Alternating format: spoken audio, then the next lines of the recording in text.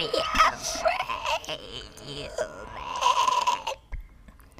Cause I'm a great Papyrus.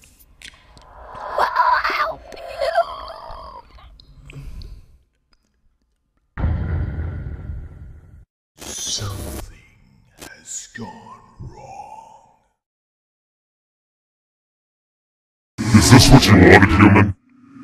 Is this the goal you had all along? I know you did this to us. Don't try to pretend that this is your doing. It's all your fault. Everyone is in constant agony, hiding in searing pain. No one else knows that things are any different. From their point of view, it has always been like this. Why? Why do all of this? Is it some kind of sick game you're playing? Please, if you have any mercy left in your heart, kill everyone. The only way anyone can have any kind of peace is if you end their lives. Please, free them from their suffering.